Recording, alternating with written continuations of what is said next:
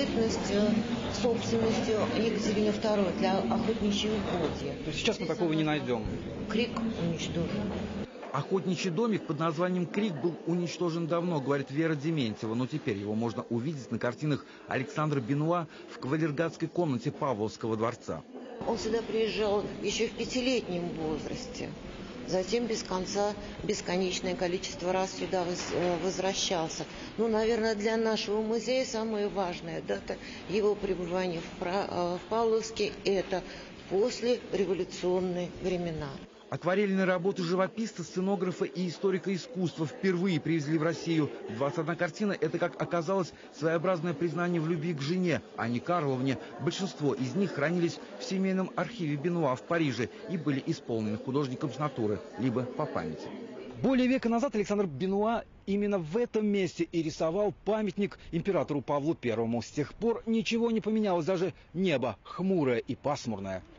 На выставке можно увидеть живописные воспоминания о пригородах Петербурга и в первую очередь о Павловске. Здесь сын знаменитого архитектора Николая Леонтьевича Бенуа жил с пяти лет. В конце XIX века Александр Бенуа стал идеологом и основателем творческого объединения «Мир искусства». В разные годы он работал в комитете по охране памятников культуры, заведовал картиной галереи Эрмитажа и занимался оформлением спектаклей сразу в нескольких театрах. Позже, в 1928 не выдержав кардинальных изменений в стране, стране Александр Бенуа эмигрировал из Советской России во Францию. Художник француз, который жил под Петербургом, его сердце передает всю его жизнь. Эта связь между Россией и Францией, она словно оживает вместе с этой выставкой. У нас общие исторические связи и общее будущее. К сожалению, внук Александра Бенуа, который так хотел посетить Россию, не смог приехать на выставку работ прославленного предка Дмитрию Ивановичу Вышнеградскому уже 93 года.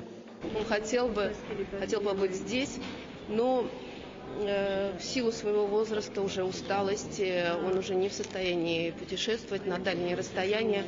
Но он, конечно же, он, он спросил э, точное время, во сколько будет открытие.